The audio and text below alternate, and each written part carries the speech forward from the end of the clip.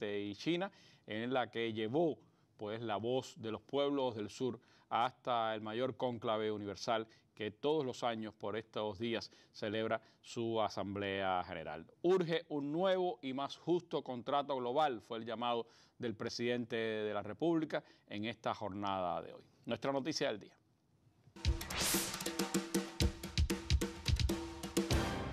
Justo a las 7 y 35 de la mañana de este martes, regresó el presidente cubano Miguel Díaz-Canel Bermúdez a la sede de la ONU en Nueva York para iniciar su segundo día de trabajo en el segmento de alto nivel del 78 periodo de sesiones de la Asamblea General de la Organización de Naciones Unidas. Como es costumbre desde 1955, el primero en subir al podio fue el presidente de la República Federativa de Brasil, hecho marcado este año por el regreso de Lula a la ONU. El segundo en expresar sus ideas fue el mandatario estadounidense Joe Biden por su condición de jefe del Estado anfitrión. Luego lo hizo Colombia, Jordania, Polonia y el sexto en hablar fue el dignatario cubano haciendo uso esta vez de un lugar privilegiado en la lista de oradores. En este, su segundo discurso ante la Asamblea General, el presidente Díaz Canel intervino en su condición de jefe de Estado y del Grupo de los 77 y China comenzó sus palabras expresando que traía a esta sala la voz del sur y al igual que el Che hace 60 años dijo que lo hacía en nombre de los explotados y los vilipendiados del planeta y llamó a los líderes mundiales a transformar el actual orden internacional que además dijo de excluyente e irracional es insostenible para el planeta. Díaz Canel expuso también los resultados de la reciente cumbre del G77 y China, celebrada exitosamente en La Habana y en representación de los 134 países que integran la agrupación y del 80% de la población mundial, llamó a la lucha contra el cambio climático y a la cooperación norte-sur porque los esfuerzos de los países en vías de desarrollo, dijo, no bastan para implementar la Agenda 2030 ni cumplir con los objetivos de desarrollo sostenible. No estamos pidiendo limosnas ni rogando favores. El G77 reclama derechos y continuará demandando una transformación profunda de la actual arquitectura financiera internacional porque es profundamente injusta, anacrónica y disfuncional, porque fue diseñada para lucrar con las reservas del sur, perpetuar un sistema de dominación que acreciente el subdesarrollo y reproducir un modelo de colonialismo moderno.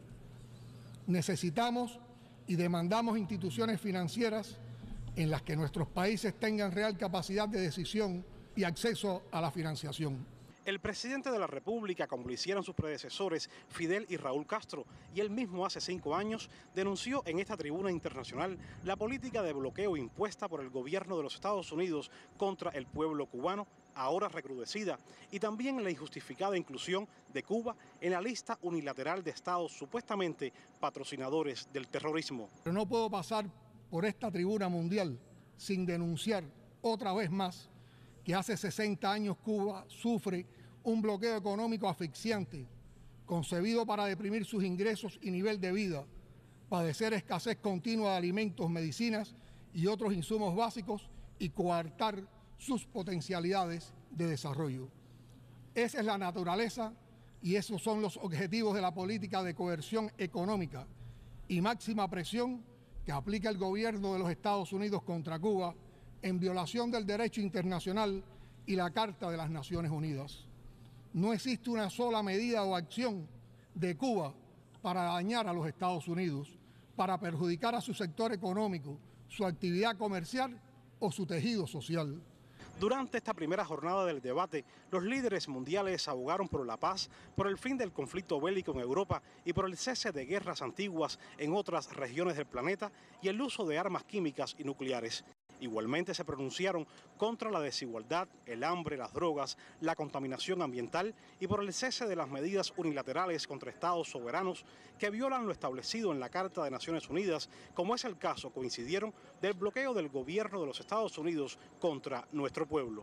El debate general del 78 periodo de sesiones de la Asamblea General de la Organización de Naciones Unidas se extenderá hasta el próximo martes 26 de septiembre, espacio en que los países miembros de la ONU tendrán la oportunidad de expresar sus ideas y también de buscar soluciones a los numerosos y crecientes problemas de la humanidad.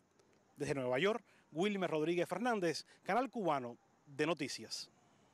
Bueno, a propósito de esto que expresaba Wilmer, hoy el primer orador de la jornada, como se ha señalado, fue el presidente brasileño Luis Ignacio Lula da Silva, quien entre otros análisis de la realidad internacional dijo que las sanciones unilaterales dañan a los pueblos y dificultan la solución de conflictos, refiriéndose, por supuesto, entre otros, al bloqueo estadounidense contra Cuba, mientras que el presidente colombiano Gustavo Petro, que fue el tercer orador de la jornada, señaló que había que acabar con la hipocresía como práctica política y condenó el hecho de que se hubiera incluido a Cuba en la lista de países patrocinadores del terrorismo. Por su parte, el secretario general de Naciones Unidas, Antonio Guterres, dijo que la gobernanza mundial está estancada en el tiempo. No hay más que ver el Consejo de Seguridad de Naciones Unidas y el sistema de Bretton Woods. Reflejan las realidades políticas y económicas de 1945, dijo, cuando muchos países de esta asamblea todavía estaban bajo dominación colonial.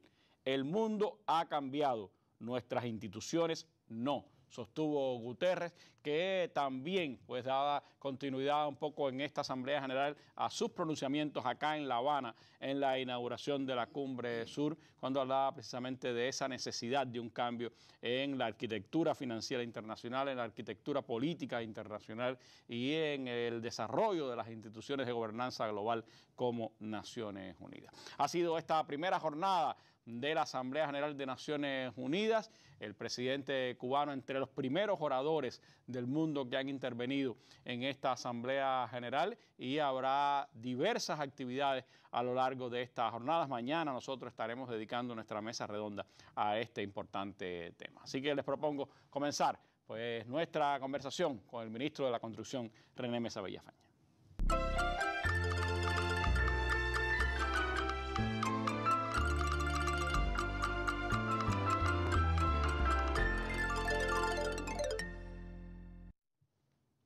Bueno, sin dudas, la construcción, el sector de la construcción es clave en cualquier eh, sociedad.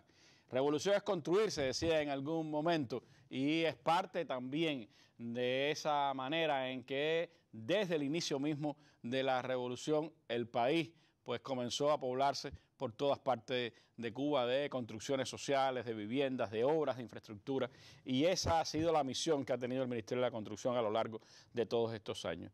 Con el perfeccionamiento, ministro, el sector de la construcción también ha ido pues adecuando sus maneras y, y sus, también sus instituciones.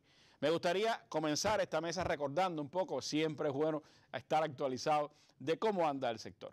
¿Cuáles son hoy las funciones que cumple el Ministerio de la Construcción, cuáles son sus misiones eh, principales, cuáles son sus instituciones, las instituciones que atiende como sistema empresarial y cómo desde el Ministerio de la Construcción se articula con el resto de las organizaciones del país que forman todo el sector de la construcción. Sí, buenas noches Randy, buenas noches televidentes y radioyentes. El Ministerio de la Construcción es el organismo de la Administración Central del Estado que tiene como misión proponer y una vez aprobada, dirigir y controlar las políticas del Estado y del Gobierno en materia de construcción, producción de materiales de construcción y productos para la construcción, las viviendas y sus urbanizaciones, que posibiliten el desarrollo sostenible de la economía para satisfacer las necesidades públicas del país. Las funciones dentro de las fundamentales está trazar las políticas y el control de estas políticas, por supuesto, en el desarrollo de los programas constructivos, el desarrollo de la vivienda y sus urbanizaciones, el desarrollo de la industria de materiales de la construcción y productos para la construcción, el, desarrollo tecnológico del sector de la construcción, que inclusive en, en los temas que hemos estado desarrollando últimamente tenemos varios observatorios tecnológicos para ir buscando las tecnologías eh, mundiales e inclusive con un grupo de trabajo formado por varios ministerios, en este caso el Ministerio de Industria, el Ministerio de Energía y Minas, y que lo que nosotros estamos organizando, o sea, llevamos a cabo ese grupo, pero con la dirección, por supuesto, de, de nuestro el viceprimer ministro que nos atiende, comandante de la Revolución, Ramiro Valdés Menéndez, y ese grupo está en función no solo de desarrollar la pequeña industria, sino también desarrollar la gran industria y las tecnologías eh, integralmente para el desarrollo del, del país. Con la aparición de nuevos materiales siempre impacta en, también las maneras constructivas, más las tecnologías que se van, que se van desarrollando. Claro, por supuesto, y además las nuevas tecnologías siempre van a menos uso de mano de obra, eh, buscar inclusive calidad en las manos de obra, más productividad para utilizar productos eh, que tienen alto rendimiento.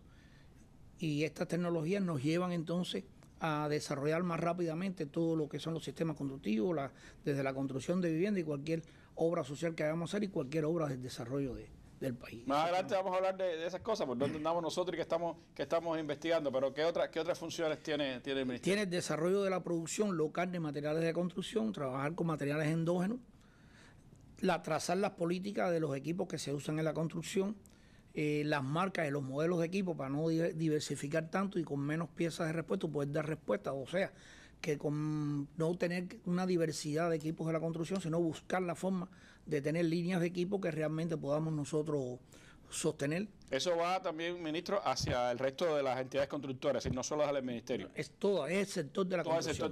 Es la política que estamos aplicando y es, inclusive para importar un equipo de la construcción, nosotros somos los que avalamos el tipo de equipo que deben importarse, o sea, las marcas y modelos. La, la, demanda del equipo lo hacen las empresas que necesitan el equipo de acuerdo a las, labores que va a realizar ese equipo.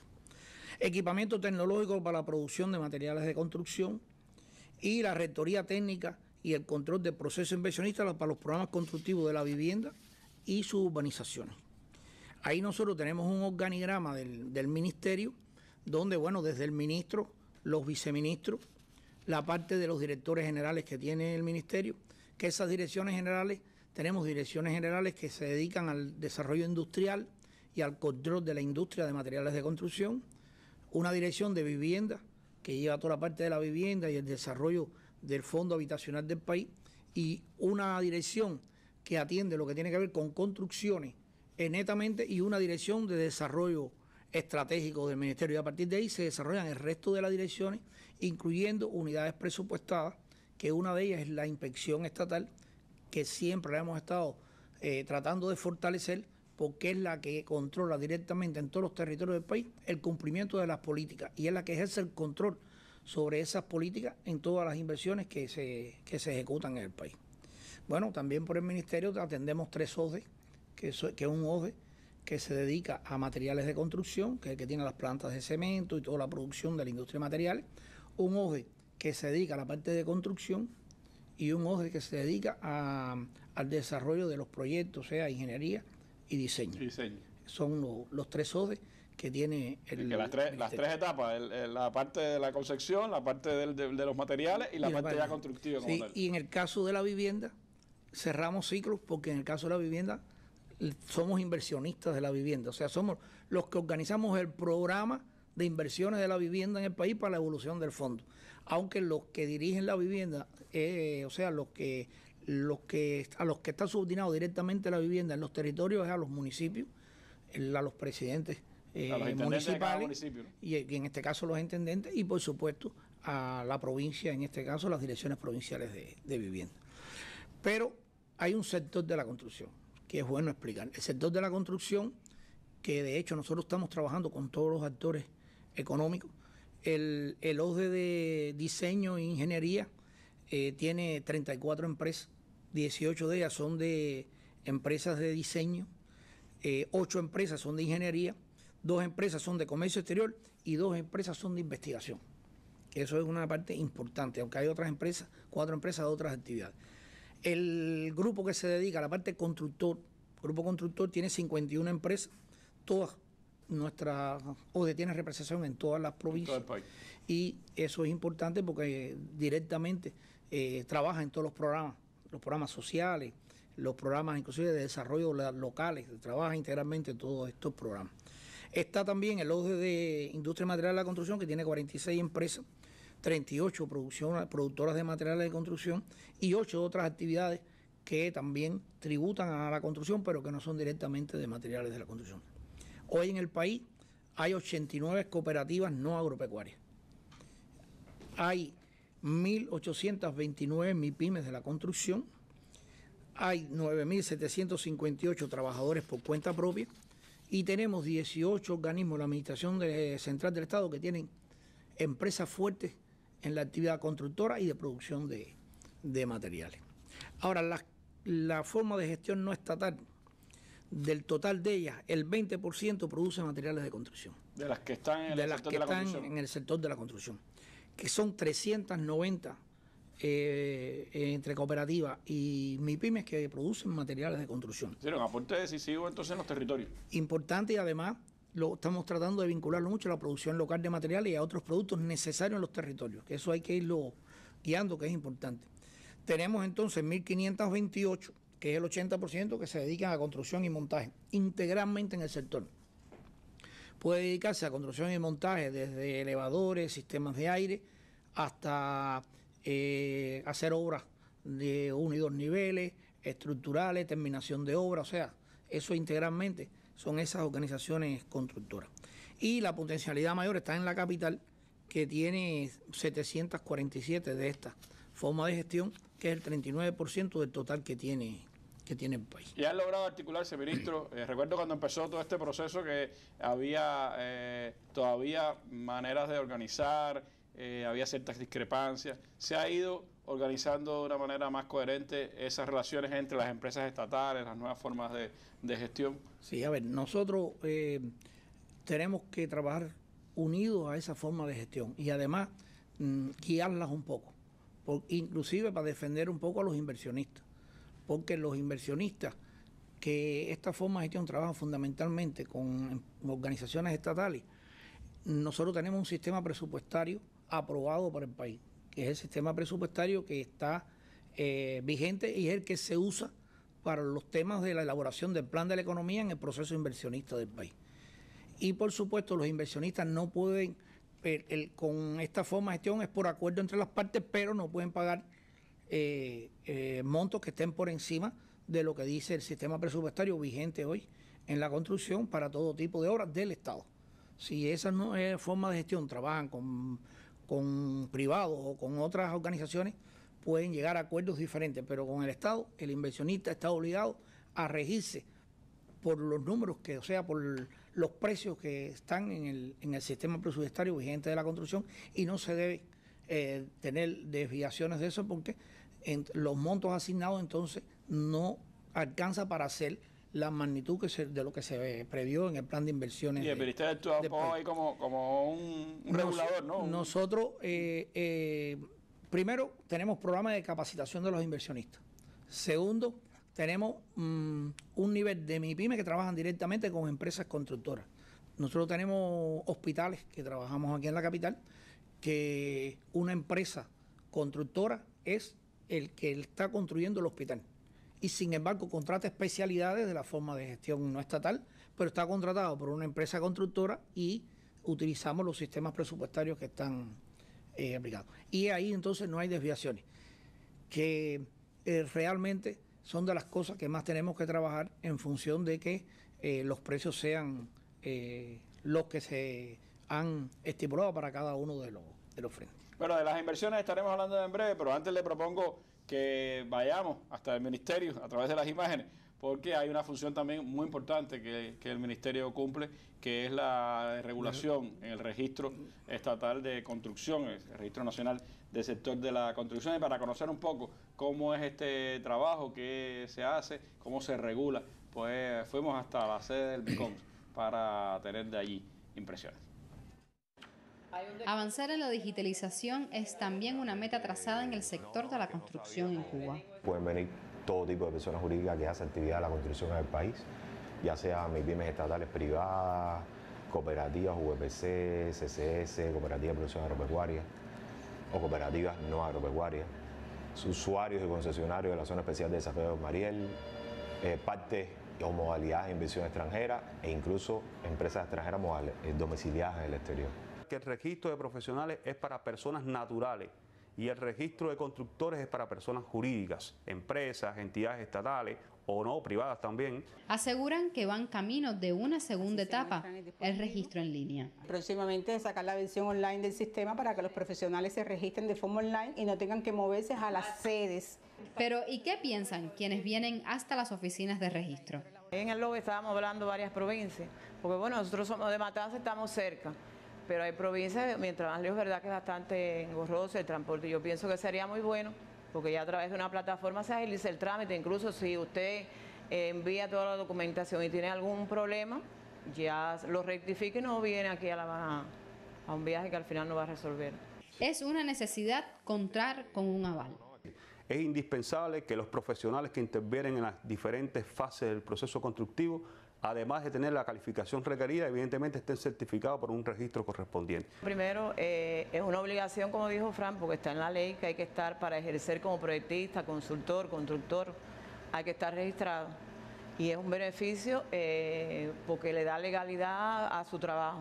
Y donde quiera que usted vaya a contratar, eh, el cliente, usted uno de los primeros documentos que le entrega es la licencia de proyectista para que vea para lo que estamos facultados nosotros por el registro de, de proyectistas. También se mantendrá la posibilidad del registro físico. Hay gente que, que siempre va a ir a las sedes porque no van a tener mucho dominio de la tecnología, sobre todo las personas mayores que no tienen mucho dominio de la metodología, siempre van a ir hasta una sede. Pero los profesionales eh, ya que trabajan ya más con la tecnología lo pueden hacer desde su casa. Si tienen una computadora, si tienen conexión a internet, lo van a poder hacer desde su casa. Firmas digitales y tecnologías al alcance de todos los sectores de la sociedad en Cuba. Laura Prada, Ideas Multimedios. Bueno, este, este registro también es una garantía, ministro, para, para todo el sector y para, y para los propios contratistas, para los que reciben los servicios de construcción en el país. Esa es, esa es una de las funciones estatales fundamentales que tenemos en el, en el ministerio. Porque toda persona jurídica cubana y extranjera que pretenda actuar como contratista, subcontratista, constructor, proyectista, consultor de obra, administrador de proyectos, realizar investigaciones ingenieras, construir o participar en cualquier forma que materialmente signifique prestar servicios relacionados con la construcción en la República de Cuba, tiene que registrarse. O sea, hasta las empresas extranjeras que están acreditadas en el país para construir tienen que estar ahí. Y de hecho, nosotros lo que hacemos, a partir de que las empresas extranjeras quieren inclusive asociarse o trabajar con alguna organización cubana o quiera entrar en determinadas áreas a trabajar, siempre eh, vemos su, currículo y su capacidad para dar respuesta a las cosas que van a hacer. O sea, evaluamos desde el registro de constructores, se investiga las capacidades que tienen esas organizaciones para dar respuesta a lo que a lo que quieren a lo que se proponen hacer. Y con eso nosotros, eh, de acuerdo a la capacidad constructiva o de proyecto o de las actividades, es que se le da el permiso. No se le da más, mm, más permiso o más magnitud del permiso de las capacidades que ellos pueden demostrar que pueden hacer para poder tener un control, una regulación. Es decir, no, pueden hacer una inversión de, millones y a lo que están preparada para una inversión de cientos de miles. Claro, es así. Exactamente. Y además revisamos su capacidad técnica, su capacidad de construcción, su capacidad de proyecto, o sea, integralmente vemos. Y a partir de eso es que se le hace inscribe con esa categoría, hasta dónde pueden hacer de acuerdo a las capacidades demostradas de las cosas que pueden, pueden hacer. Ministro, ahora que estamos hablando de, inversión, eh, ¿en qué momento estamos en las inversiones en el país? ¿Cuáles son eh, las inversiones más importantes que estamos ejecutando en medio de las condiciones difíciles que sabemos de financiamiento, de energía, de combustible? ¿Cómo el país ha ido asegurando inversiones principales en estas condiciones?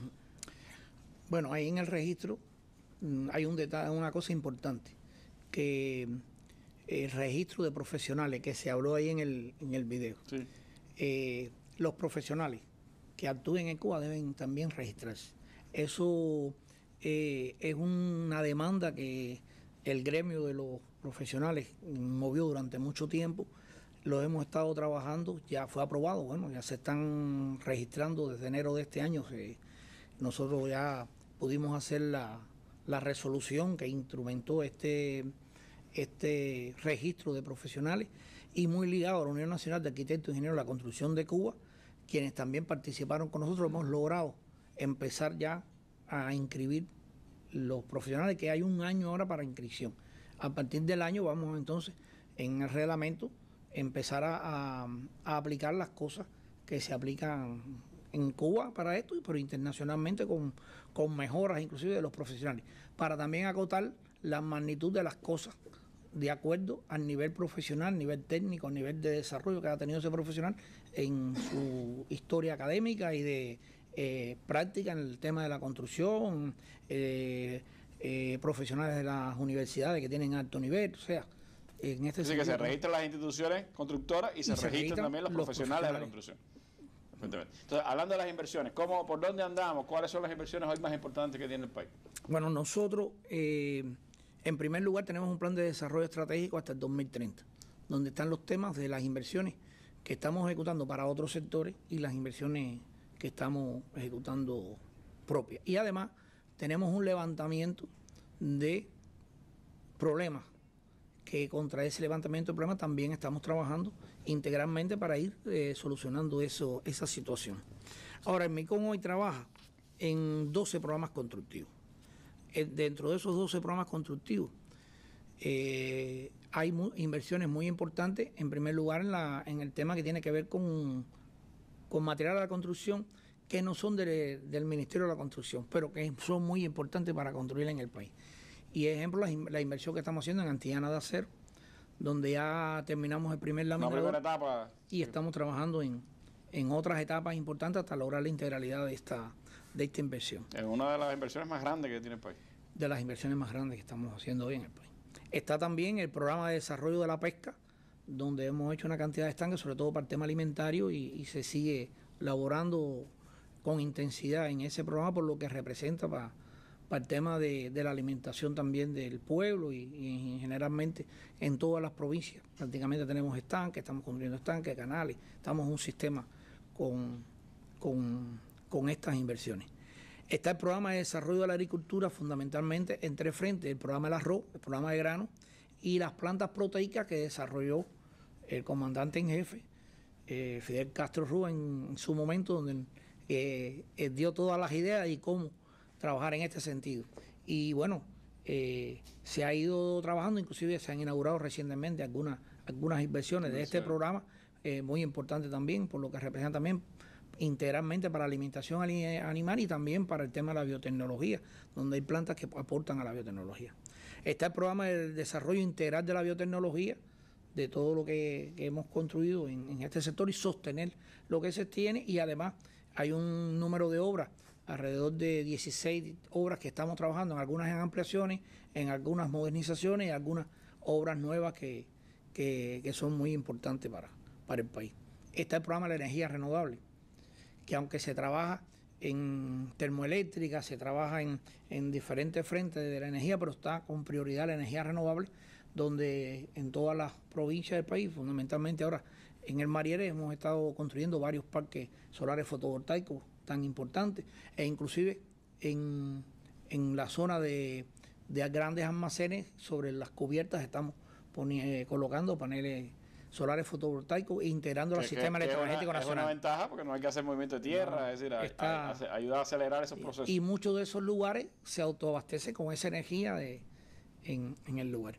Está en la zona de desarrollo Mariel, estamos haciendo un grupo de inversiones importantes que inclusive se han, se han presentado en, varios momentos y además tenemos una infraestructura creada para seguir desarrollando eh, amplias inversiones allí con, con con buena organización constructora que durante estos años, hemos, eh, últimos 12 años, hemos podido formar una organización constructora mm, potente en el Mariel, que inclusive ya solo no construyen en el Mariel, se le han dado misiones importantes fuera del Mariel y la ha cumplido con, con éxito esa fuerza constructora.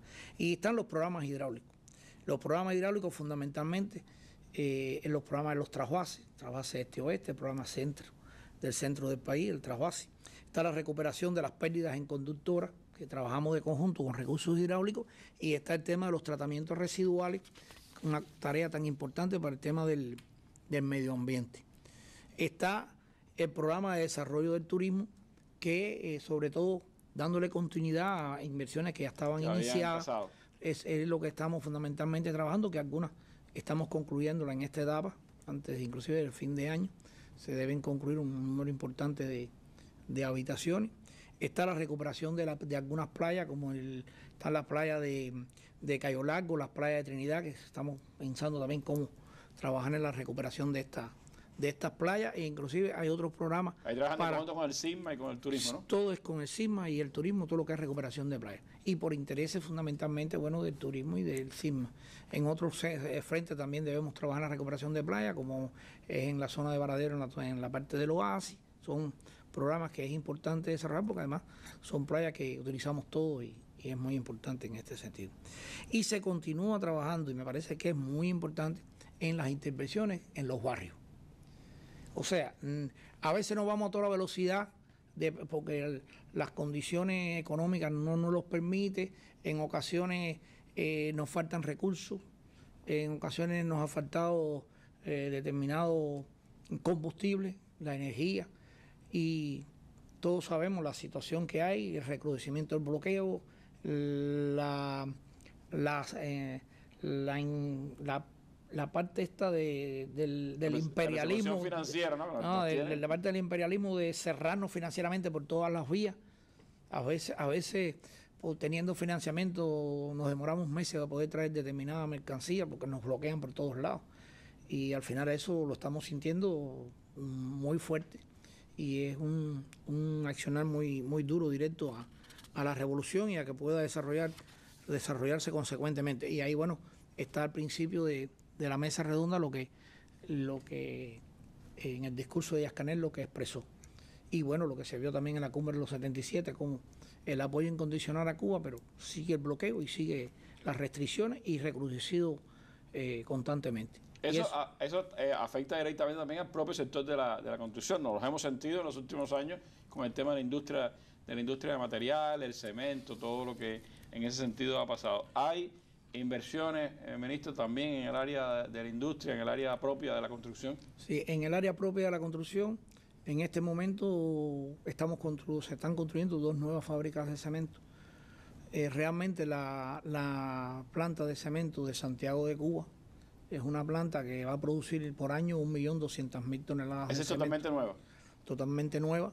Esa planta se va a autosostener a partir inclusive de, de programas de, de exportación para poder eh, eh, suministrar al país un nivel de, de cemento importante y fundamentalmente eh, con el tema de la transportación cubriría Guantánamo, Santiago, Granma y una parte importante de, de Holguín. ¿Cuánto puede producir esa planta? 1.200.000 toneladas. Es más que lo que produce Cuba hoy.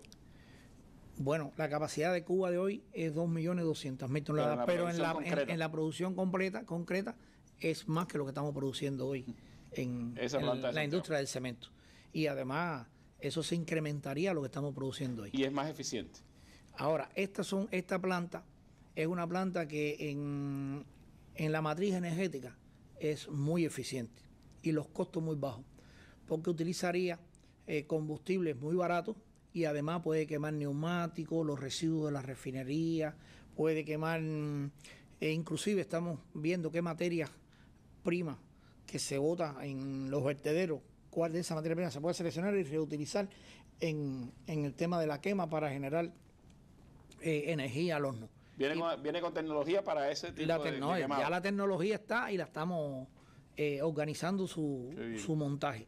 Esta planta eh, es de una alta eficiencia y muy ecológica, muy compatible con el medio ambiente, con la tecnología, las mejores tecnologías del mundo. Y estamos modernizando la planta de nuevita, pero prácticamente estamos haciendo una planta Nueva. nueva porque todo el, el corazón de la planta, todo es, es nuevo. Y es la misma tecnología que la planta de Santiago, que con eso es importante porque son compatibles las piezas de repuesto, la explotación, o sea que la experiencia de una se puede revertir en la otra. ¿Esta de nuevita cuánto podría producir más o menos? la de Nuevita puede producir 750 mil toneladas 750.000. de cemento anual. Entre estas dos ya es un Dos millón millones. novecientos Casi dos cincuenta mil toneladas de- establemente. Y también se va a autosostener con sus exportaciones que también se están viendo ya y se está organizando ese proceso. Y muy eficiente por lo que hablaba de la matriz, la matriz energética.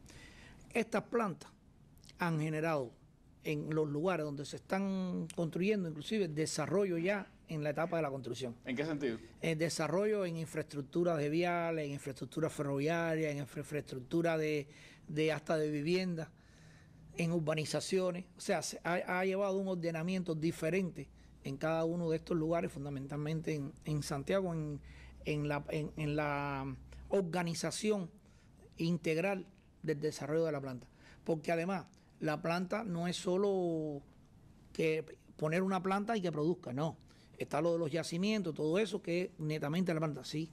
Pero hay un grupo de eh, inversiones que hay que desarrollar o hay que modernizar o hay que multiplicar las producciones en varios frentes y además esa transportación, porque el cemento lleva un nivel de yeso, lleva un nivel de hierro, que eso hay que producirlo en otros puntos y transportarlo. Punto. Claro.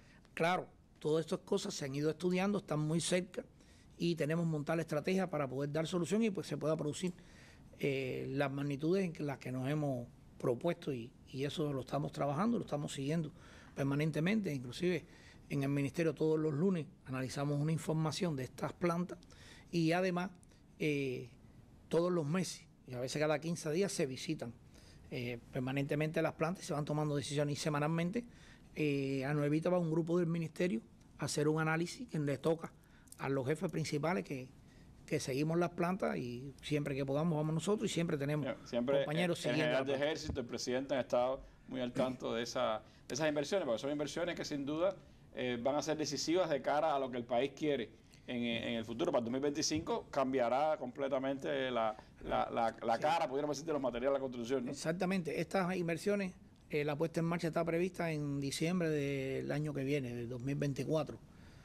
Y, y enseguida se va a ver el desarrollo en la parte de la construcción, porque eh, aunque estamos en, en, otros materiales, en otro desarrollo, también en otras tecnologías, eh, pero el cemento sigue siendo sí, indispensable y además, aunque nosotros le decimos a los compañeros, se pueden construir con este material, con este otro, con este otro, ya nosotros en la idiosincrasia nuestra durante todos estos años hemos construido con el cemento y nos da trabajo cambiar esa esa esa idea. Y puede ser complemento además para, aunque haya otras tecnologías, puede ser complemento Siempre, dentro de las propias sí. construcciones, pero tener esa disponibilidad y además poder exportar para obtener ingresos creo que va a ser sí. eh, sin duda de, de, mucho respaldo para la industria material en su conjunto y para, claro. para el, el, sector de la construcción claro. del país. No, porque hasta ahora eh, las fábricas de cemento, aunque exportaban un poquito, producían solo para el país, porque la demanda es mucho mayor, que claro. la producción de estas plantas. Y con combustibles más caros, menos eficientes eh, la, las producciones. Claro, entonces, ¿qué pasa? Que la, la, las mismas fábricas no se ponían a autosostener. Ya con esta estrategia se pueden autosostener las plantas y por lo tanto habrá una mayor estabilidad en la entrega de, del cemento en general en el país. Es decir, va a, ser, va a tener una especie de ciclo cerrado. Van sí, a poder sí. ellas mismas sí, autoabastecerse financieramente cerrado. y poder trabajar para producir esas cantidades. Eso es importante. Eso va a ser, va a ser importante. Y en otro, en otros ámbitos de los materiales de la construcción hay cosas nuevas. A ver, sí, a ver, nosotros estamos desarrollando eh, a partir de una experiencia que tenemos con, con Vietnam. Eh, nosotros desarrollamos la cerámica en Santa Cruz una planta de piso cerámico en Santa Cruz, que ya lo tenemos en un formato técnicamente mucho mejor, de 40 por 40, que este año se montó. Esa planta va a producir este año 1.400.000 metros cuadrados, pero tiene una capacidad para llegar a 3 millones de metros cuadrados. Entonces estamos trabajando a ver si le podemos facilitar todas las materias primas y todo lo que necesita la planta para que haga los 3 millones de metros cuadrados. Y creciendo año tras año y lo que estamos tratando de asegurar eh, lo que se necesita, sobre todo en materias primas, porque la tecnología está montada y está aprobada ya y está produciendo establemente. Que ese es uno de los elementos que hoy detiene ahora, el tema de la cerámica, sí, piso y esas cosas, ¿no? Sí, la, la cerámica eh, son temas que eh, tiene alta productividad y alta calidad y se de, transporta muchos metros cuadrados en, en, transportes pequeños, o sea, no es un, un y es una tecnología muy eh, muy importante porque eh, se usa mucho inclusive en, en la vivienda, en, en los programas sociales. sociales, en los hospitales, los policlínicos, los ciclos infantiles, y eso evitamos, eliminamos toda la importación de esos productos. Estamos trabajando para crecer en los muebles sanitarios. Ahí también, con la experiencia de la empresa mixta, en San José estamos montando nueva, nuevos moldes de muebles sanitarios. Ya la calidad del mueble sanitario que estamos ejecutando hoy es una calidad eh, mm, mucho más eh, asequible que la que teníamos inclusive hace apenas un año y medio, dos años. Estos, muebles sanitarios ya se están comercializando y se están llevando ya a la economía. Y también tenemos un programa de seguir mejorando eh, la tecnología del mueble, pero además incrementar la producción de estos muebles que están haciendo algunos trabajos, hay algunos temas estudiados fundamentalmente en los hornos. Y bueno, esto también con los vietnamitas. Esto con los vietnamitas. Ahora, ¿qué hicimos? Esa experiencia la trasladamos a una planta 100% cubana en Holguín. Ah, la Holguín. Y entonces hemos montado en Holguín la misma tecnología, pero es nuestra la planta. Y es una planta que estamos concluyendo en este año. Es una planta que además de que hacía muebles sanitarios, no de la gama que estamos haciendo hoy, pasaría de producir 90 mil piezas a 300 mil piezas de muebles sanitarios.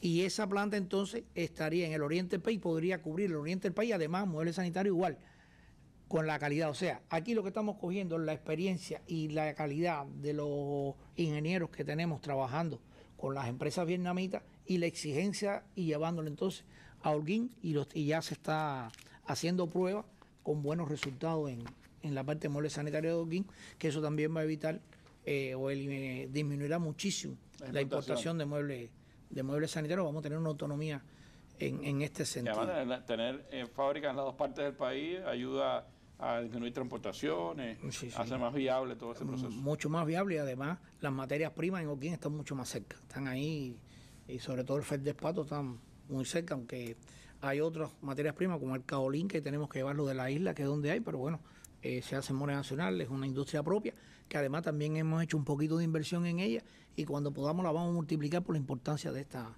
de esta materia prima. Bueno, estamos haciendo otras inversiones, ya no de tanta envergadura, pero trabajamos en, en el desarrollo de las arcillas, que de eso voy a hablar más adelante, la producción local, pero en la industria nacional eh, en el país había una red de, fábricas de producción de bloques de, la, de arcilla y ladrillo, teja y racilla.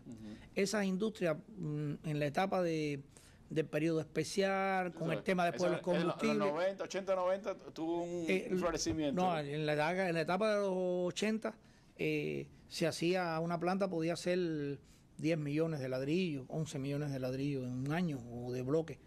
Esas plantas, bueno, eh, se hicieron obsoletas en el tiempo. Hemos trabajado en un grupo de ellas. El, grupo industrial se ha ido analizando y hemos recuperado ya seis plantas que no van a producir la cantidad que producían inicialmente, pero son plantas que ya empiezan a producir. Por ejemplo, ya la de la planta que tenemos en San Cristóbal es una planta que puede hacer 200 mil bloques por mes. Ya es un número de, que además ahora sigue trabajando calidad, sigue trabajando otras cosas. Y estamos trabajando en, rescatar la industria del barro. Y la, producción del barro es más barata que, la, de, la del bloque de hormigón, ¿no? La, producción del barro, eh, el bloque de barro, nosotros estamos revisando bien todas las fichas porque el bloque de barro en todo el mundo es mucho más barato que el bloque de hormigón. Entonces, el, además, el bloque de hormigón lleva cemento, que hay que pasarlo por los hornos, lleva arena, lleva piedra, todo eso es energía, todo eso es combustible, todo eso es traslado. Y aquí, con un viaje de arcilla, usted produce un nivel de bloque que, es mucho más económico y además eh, la pasa por un solo por un solo horno. Y además hace bloque, hace teja, elementos, hace racilla, que se usa en las cubiertas también como impermeable, y hace un nivel de, de ladrillo. Eso lo estamos tratando y empujando con intensidad. De eso no habíamos hablado eh, mucho en la parte de la industria eh, mm, grande nuestra porque él es consumidor de combustible. Entonces, lo que estamos preparando para en el momento que podamos eh, dar un nivel más de recuperando la tecnología para cuando sea posible empezar las Exactamente. Estamos recuperando tecnología y se le está dando un... Y además estamos contribuyendo con con algunos gobiernos territoriales que han recuperado también algunas industrias del barro que ellos tenían. Estamos contribuyendo con ellos también en, la ayuda de poder echar esa industria del barro. Y porque eh, realmente va a ser mucho más económico, más eficiente e inclusive en los temas de, de la temperatura y todo es, un, es fresco, el, porque el, el barro transpira y en la transpiración, por supuesto, es más fresco. generalmente las construcciones nuestras si fueron tradicionalmente de, de- de barro, ¿no? La, la propia dinámica después llevó a, a otra a otra situación. Pero eso también me, me lleva a pensar en, en- en lo territorial, ¿no? Están estas grandes inversiones de país. eh, en lo territorial se sigue avanzando en la industria de materiales, en los territorios, ¿qué se está haciendo para, para impulsar esos programas? A ver, en, en- territorialmente nosotros tenemos, por, por ejemplo, en la gran industria tenemos que seguir trabajando con los temas del, de los áridos, ¿no? La producción de arena, la producción de piedra, que se están haciendo en industria en varias provincias, estamos, inclusive algunas no, estamos no es suficiente lo que hoy lo que hoy se produce. No, no es suficiente. La demanda es eh, mm, mucho, mucho mayor que lo que estamos produciendo. Y realmente eso hay que acabar de, de ir eh, empatando eso. Y lo que eh, puede que nos falte energía, puede que nos falte combustible, pero el mantenimiento y el seguimiento, que esa industria sostenerla. Y además, en muchos casos se ha sostenido por el empeño de sus trabajadores y por la eh, inteligencia de sus trabajadores en lo que es la inventiva, la innovación. Ahora mismo vamos a hacer un, evento importante para el tema de la innovación dentro del sector, porque nos es importante que se siga generando ideas en función de sostener eh, el plantel industrial que tenemos, que lo es en todo, es en el prefabricado, es en la industria de la parte de la cerámica, es en la industria, como hablaba, de la arena, la piedra, y es integralmente en las, en lo que es la- las plantas de asfalto, integralmente. Tenemos un programa con eso y que estamos potenciando, porque el, cuando podamos tener un nivel de más de recursos, no vamos a esperar por empezar esta sostenibilidad, ¿no? Es que el, el obrero, antes de tenerlo en la casa, los tenemos arreglando, innovando, mejorando y aportando inclusive hasta en, en el centro, en, en la parte de los autoconsumos, que es la misma alimentación de ellos. Y, a- y para el programa de la vivienda, del cual hablaremos, por supuesto, en la, en la, en la mesa, eh, la producción local de material de construcción sigue siendo clave. Si no logramos avanzar ahí, va a ser difícil avanzar en el programa de la vivienda en el país. Sí. A ver, la producción local de materiales eh, es la producción fundamental para la construcción de viviendas. Sobre todo eh, las viviendas que estamos desarrollando en, en todos los, los municipios del país. El, ahí, eh, en todas las provincias, ya hay eh, tejares mm, manuales, tejares criollos, vamos a decir, de producción de, de ladrillo. Aquí hemos hecho ya diseño de hornos eficientes para montar y producir en, en municipios, que se puedan construir los municipios. En, en Guantánamo tenemos un horno eficiente y ya eso se está multiplicando. Y hemos, eso, esa tecnología la hemos dado a diferentes provincias porque con un 30% menos de leña se logra el mismo resultado en, en la producción. O sea, estamos en, en ese sentido trabajando directamente, buscando eficiencia en, en la producción de ladrillo. Y el ladrillo es un elemento de pared excelente. Y además en esos lugares cuando se va eh, eh, desarrollando la producción, ya entonces pasamos a otras producciones dentro del barro, que ya es el bloque de barro con una pequeña extrusora, ya es la racilla y ya en su momento es la teja a partir de que, que se ligan determinadas arcillas. Pero eso no lo da, que tenemos que empezar primero por el ladrillo, porque no hay toda la experiencia en el territorio, y después ir incrementando entonces la- las producciones. Sí, se va a lograr una compensación entre lo que se produce territorialmente y la Y la gran que se puede recuperar para la producción de- del, del barro, que creo que va a ser uno de los, Sí, de los aportes importantes. Fíjate, Randy, con el ladrillo se puede hacer de todo y con el bloque, porque mm, los techos pueden ser de bóveda. ¿Cuántos techos de bóveda podemos hacer? Mientras más producción tengamos, más podemos hacer. Y además, esos son cubiertas que la, los ciclones, los huracanes, no los afectan. No afecta. Esos son casas de tipología 1, porque tienen una cubierta rígida. Son, O sea que- son parte de las soluciones también que la propia experiencia va, va dando, ¿no? Y la tradición que se va que se va recuperando, pero que lleva eh, sobre todo también a búsqueda de, esa- de esas soluciones locales. Es lo que pasa en Manicaragua. Yo propongo que hagamos un reportaje de una industria de tejas en, en Manicaragua que pues es parte de ese de esa búsqueda de soluciones locales. Desde su creación en el 2019, la empresa de producción local de materiales de la construcción trabaja en estrecho vínculo con nuevos actores económicos, logrando una estabilidad y crecimiento en sus producciones. Desde sus inicios la creación de nuestra empresa en el año 2019, la empresa ha tenido un estrecho vínculo con la forma de gestión no estatal. Eh, hoy lo que nos ha dado experiencias muy positivas eh, nos ha aumentado las capacidades productivas en la, provincia y, también resultados muy positivos en los indicadores económicos. Proma trabaja entre MIPIMES y trabajadores por cuenta propia eh, con 130 productores. Esta empresa trabaja desde el pasado año en el rescate de las producciones de barro en el municipio de Manicaragua y en este empeño tiene un papel primordial la fusión con los nuevos actores económicos, siendo muy beneficioso para ambas partes. Bueno, en el municipio contamos con 18 TCP, trabajadores por cuenta propia que se dedican a la, producción de ladrillo. Eh, de ellos 12 están vinculados a, la UEB. Tenemos una, capacidad de, de producción de pastillas diarias de 10.000 pastillas diarias. O sea que tenemos más capacidad de producir pastillas que de quemarlas. Es por eso que hemos logrado el vínculo con la forma, o sea, con los trabajos por cuenta propia.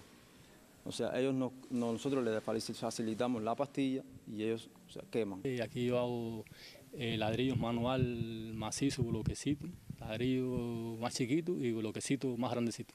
Y a la misma vez estoy contratado con, con el tejal grande de Promá. Yo le compro las pastillas a ellos a 5 pesos se las quemo y también le quemo la producción que ellos excedente que tienen, se la quemo y a la misma vez soy obrero de domicilio de ellos allá. Todo ha sido muy bien, en muy buenas condiciones, igualdad de condiciones y llevo ya alrededor de, todo este año que he pasado para atrás con ellos trabajando y hasta ahora hemos cumplido ambas partes y todo ha ido muy bien. En estos últimos años, Plomac ha afianzado sus producciones jugando un papel fundamental en el desarrollo del programa de la vivienda en cada municipio del territorio. No cabe duda que esta empresa Villa Clareña ha encontrado el camino que va en beneficio de todos en busca no solo de crecer en cantidad, sino también en calidad. Desde Villa Clara, Sandra Cristina, especial para la Mesa Redonda.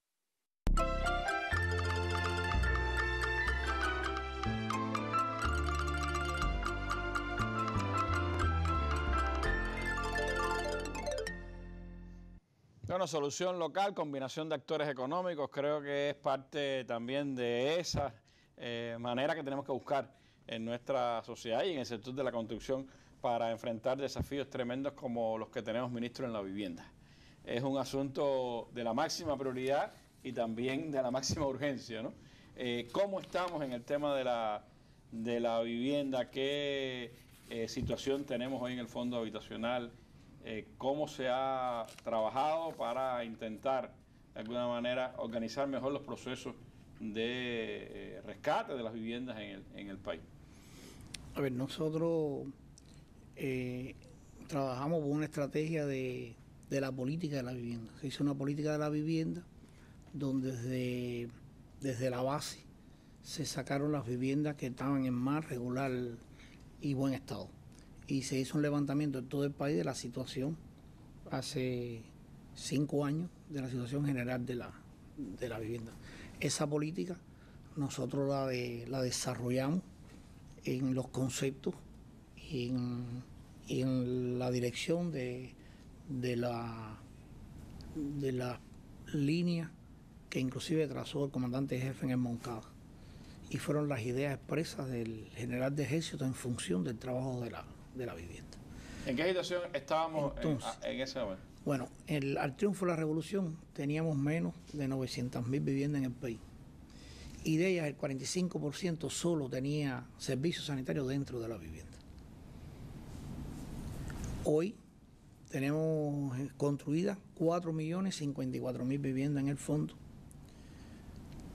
Todas esas viviendas que están en el fondo habitacional tienen servicios sanitarios dentro porque para dar el habitable tiene que tener energía eléctrica, eh, eh, residuales y, electricidad, y, agua.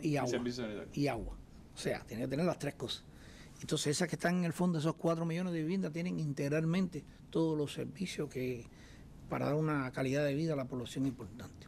Entonces, esta política de la vivienda que se elaboró con las indicaciones, las ideas del general de ejército, compañero Raúl Castro Ruz, fue en función de, en primer lugar, detener el deterioro del fondo habitacional y en segundo lugar, en incrementar ese fondo y mejorar ese fondo. Y eso se ha estado trabajando e inclusive eh, se planificaron un nivel de recursos y un nivel de soluciones que al final, sobre todo en los temas de recursos, no se pudieron lograr por, ustedes saben, la situación del bloqueo, pero sí trabajamos por esa metodología y con esa intención. Y, hemos tenido una exigencia muy fuerte y muy buena del compañero comandante de la Revolución Ramiro, que mes a en todo el país chequea el cumplimiento del programa de la vivienda. Y siempre exigiendo para hacer más e inconforme, por supuesto, con lo que estamos haciendo, porque no estamos llegando a los niveles que podemos llegar en cada uno de los municipios. Y se le está solicitando a los municipios que intervengan mucho y produzcan mucho en eh, eh, temas de materiales locales. Y se le ha facilitado maquinaria. Y por diferentes causas no se ha podido lograr esos resultados, sobre todo que ahora es que tiene un mejor ritmo en la producción de, elementos de barro, pero que está muy lejos de lo que tenemos que lograr también en el barro, o sea, de las necesidades y la demanda. Y por eso tenemos que multiplicar el tema de la, de la producción de materiales de, la construcción, sobre todo los materiales endógenos, materiales locales, que son de las líneas de trabajo y la organización de eso. La, en la política de la vivienda se hizo un esquema de cómo debía trabajarse desde el nivel nacional hasta el último Consejo Popular y del Consejo Popular hasta el nivel nacional, con los datos sacados y evaluados, inclusive teniendo en cuenta censo de población y vivienda, teniendo en cuenta información de la vivienda en la base, teniendo en cuenta todo lo. Y hay provincias que han hecho su política de la vivienda consecuente con, la línea trazada. Hay otras que la han faltado un poco.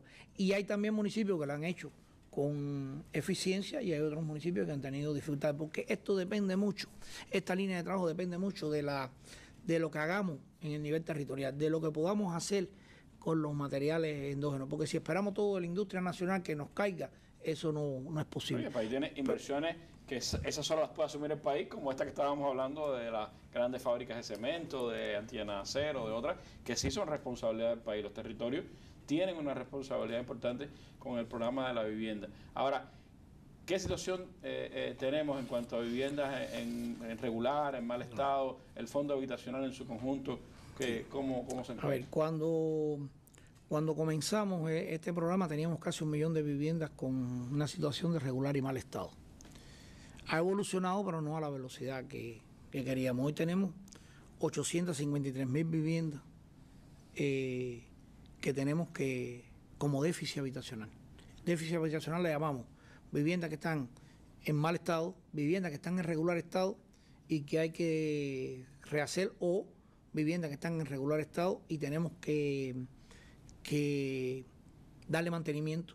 Y está el tema de la, de la cantidad demográfica, ¿no? la cantidad de familias, que eso también se sacó en ese momento, y la cantidad de familias que viven eh, tres, tres generaciones en una, misma vivienda, y eso también se tuvo en cuenta. Más de 800 mil Hoy tenemos, hoy tenemos que trabajar en 853 mil viviendas, eso es un programa que lo tenemos identificado, lo tenemos identificado por municipio, municipio municipio.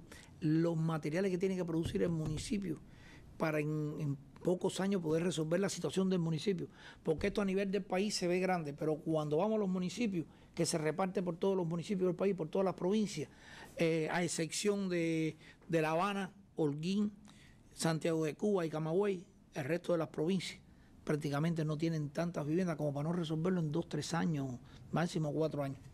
Y, y en eso se basaba la, se basa la política, en darle seguimiento porque ellos produzcan y contra eso puedan ejecutarse viviendas.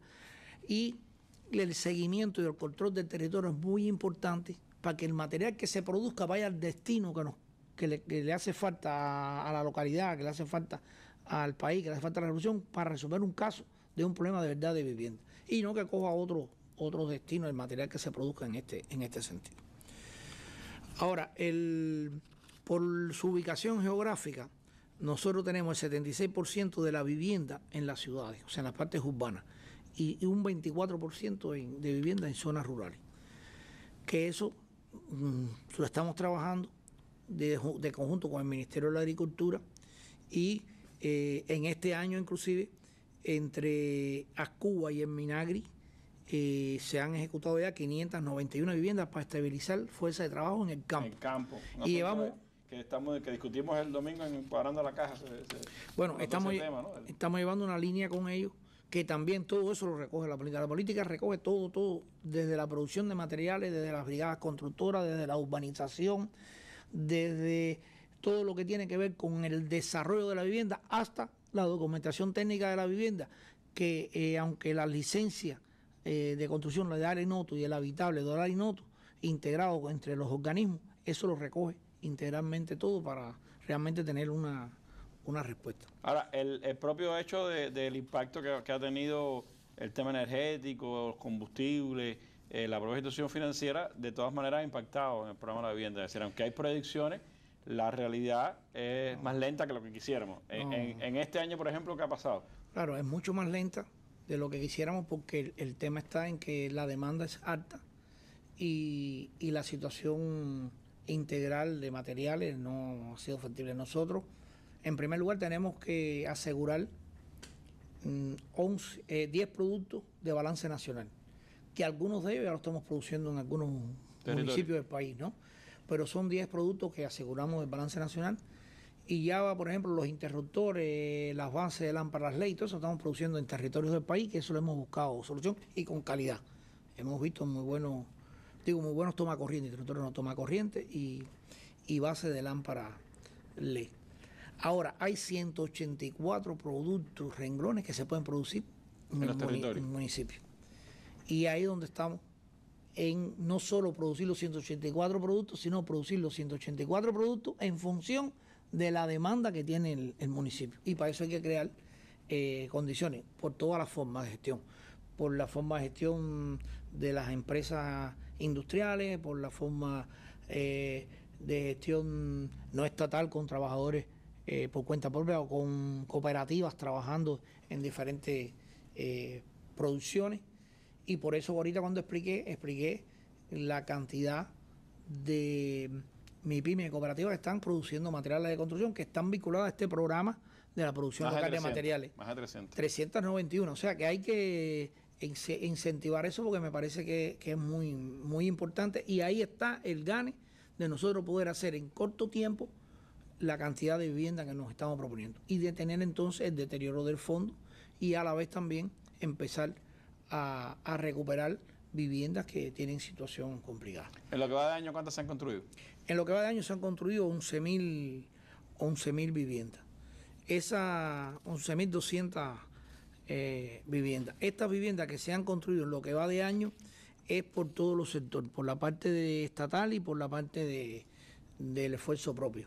Y, se han dirigido fundamentalmente a, temas de la dinámica demográfica, o sea, las madres que tienen tres hijos o más, afectados de eventos meteorológicos, se han dirigido al fondo estatal también un nivel de, de vivienda para trabajadores que aportan a la revolución, que están en, en determinados sectores que son importantes para el país y se le también se le ha entregado un nivel de vivienda. Para la tarea vida, que es una labor importante y bueno, y el tema de lo que tenemos que ver con todo lo que es medio ambiente. La relocalización de la, la reubicación de esas viviendas y eh, como expliqué para la estabilización de la fuerza de trabajo en el campo con el Minagri y Ascuba, que son dos organizaciones que han logrado ya este año un nivel de, seguimiento y organización que estamos en condiciones de crecer muchísimo en este, en este frente de trabajo buscando estabilidad de la fuerza en el campo. En el caso de la, de la, de la vivienda, eh, también hay, ah, en los últimos tiempos se ha podido comenzar a tener la participación de organismos ¿no? en, ese, en ese empeño. Sí, hay ya ahora dentro de las cosas que hemos estado presentando en el tema de la vivienda, primero es que mm, eh, hacer una nueva ley general de la vivienda, que esa está ya en el programa de la parte legislativa del país, que el próximo año Eh, en octubre debemos tener una nueva ley general de la vivienda, eso estamos trabajando en ese sentido y estamos está avanzando. Eso por supuesto lleva consultas, lleva opiniones, todos los territorios, que es lo que, lo que se aprobó hacer. Estamos trabajando en el tema de la dinámica demográfica, estudiando todo lo que pasa en la dinámica demográfica, en lo que es relacionado con la vivienda. Y ahí lo trabajamos varios organismos. Y se está aprobando que los organismos, o sea, las empresas con las utilidades, construyan vivienda para sus trabajadores. Pero es que eso inclusive lo podemos dirigir un poco, porque trabajadores que tengan afectaciones climatológicas, afectaciones de determinadas condiciones, eso podrían tener, darle prioridad y por ahí podríamos ir eh, solucionando un nivel de importante problema.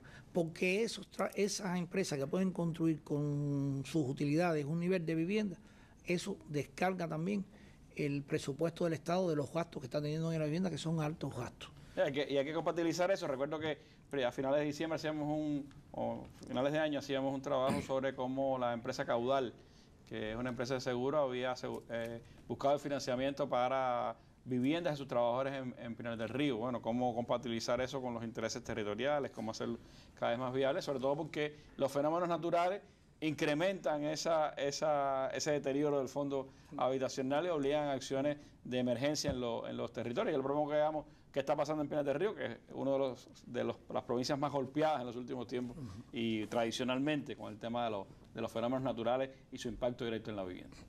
La recuperación de la vivienda es el principal desafío que dejó el huracán Ian a su paso por la más occidental de las provincias de Cuba. A casi un año del impacto del meteoro, el territorio da pasos en la recuperación del fondo habitacional severamente afectado por el evento hidrometeorológico. Hasta la fecha, un 45% de las más de 102.000 afectaciones cuantificadas tras el paso de Ian han sido solucionadas, un proceso que se ha visto afectado por el escaso arribo de recursos a vuelta abajo.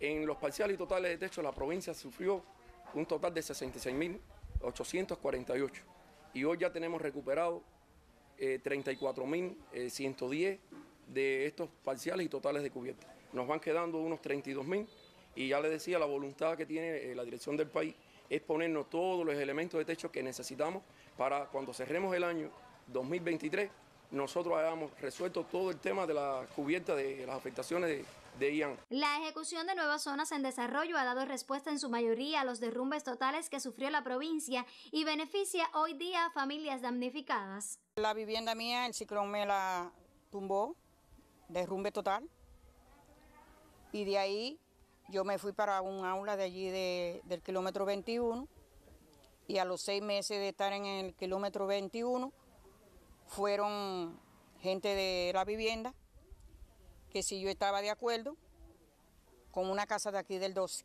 del kilómetro 12, y yo le dije que sí. Fui afectada por el ciclón, derrumbe total, eh, y entonces aquí nos dieron esta vivienda donde me siento muy bien, complacida con los vecinos que nos tocaron, hay mucha tranquilidad. En tanto, más de una decena de países, organizaciones no gubernamentales, instituciones religiosas, grupos de solidaridad y personas naturales de diferentes naciones han mostrado su apoyo a Pinar del Río tras el paso del huracán Ian en septiembre pasado. La Cruz Roja ha ayudado con el donativo de elementos de techo destinados a viviendas tipología 3 con derrumbe total de techo y para su ejecución ha contado con la cooperación de las familias y autoridades del territorio. El techo yo lo recibí aproximadamente en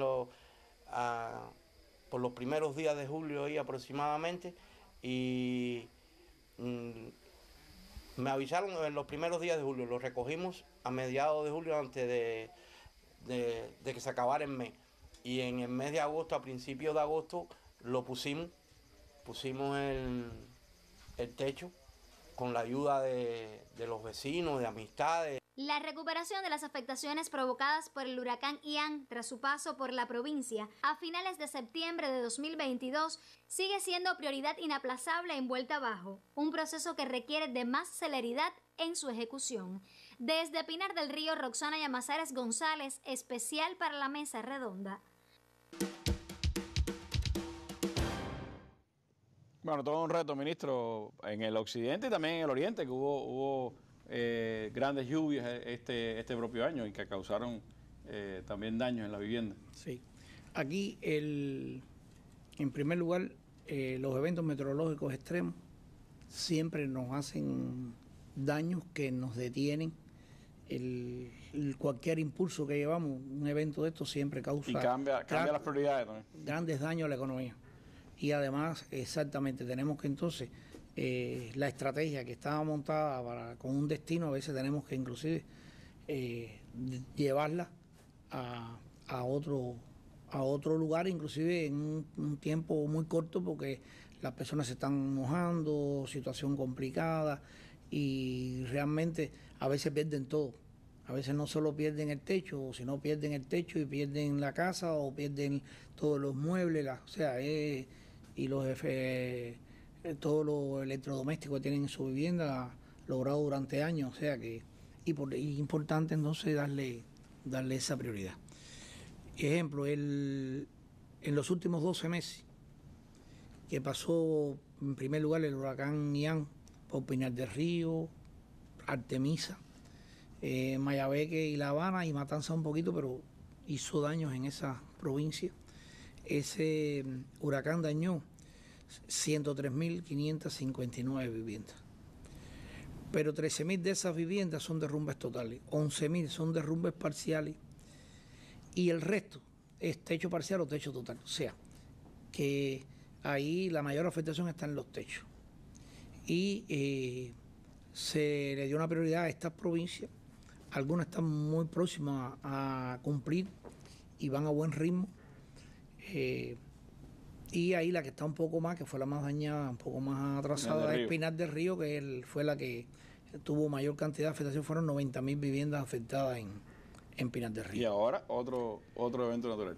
Hace unos días tuvo un evento natural mucho menor, pero también hubo algunas afectaciones. Ahora, la prioridad que se le ha dado a Pinar del Río y el seguimiento ha, dado que, bueno, que lo que se hablaba ahí de, donaciones y esto sí, pero en, en, las afectaciones, la situación que tiene el país financiera, económica, como explicaba ahorita el tema del bloqueo, el país ha entregado a Pinar del Río desde el IAN hacia acá más de 400.000 tejas.